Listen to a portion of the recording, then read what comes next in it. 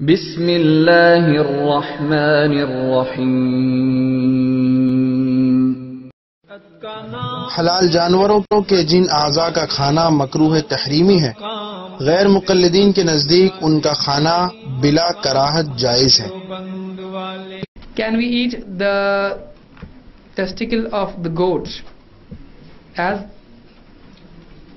or is it makruh? इसके बारे में मना होने की या बुरा होने की कोई दलील नहीं है। कोई खाना चाहे खा सकता है। कपूरे खाना मकरू है। टेस्टिस सौते जो होते जानवर। कहाँ से लाई कपूरे खाना मकरू होते? कोई टेक्स्ट है जो हदीस का जो बताई कुरान में तो नहीं। हदीस का कोई टेक्स्ट सहाबा से कोई करात साबित है?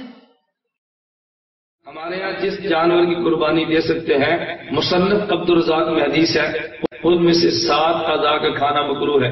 दम मसू ये जो रगू से खून निकलता है जबा करते वक्त इसका खाना मकरू हरा मस का खाना मकरू, मसाने खाना मकरू, पित्ते का खाना मकरू, मादा जानवर की पेशाब की जगह खाना मकरू, नर जानवर के पेशाब की जगह खाना मकरू खुशियतैन का खाना मकरू। ये मकरू तहरीमी है, हदीस में मौजूद है। और शेखुल ने लिखा, इन सात अजा का खाना बिला कराहत है।